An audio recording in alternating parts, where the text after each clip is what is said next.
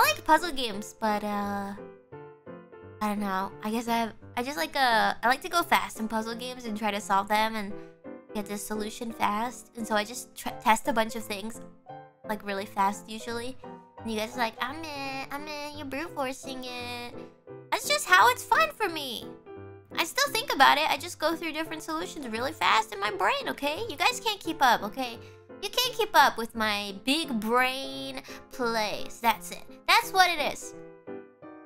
You know, maybe if your brains were as big as mine... Have you seen my head? It's huge.